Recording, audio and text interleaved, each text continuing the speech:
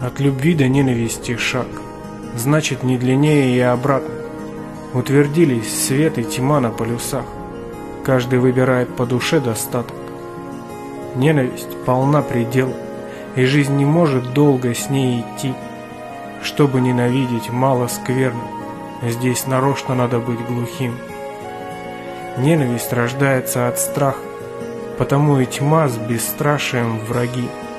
Но угар с тлетворным ароматом исчезает с появлением любви.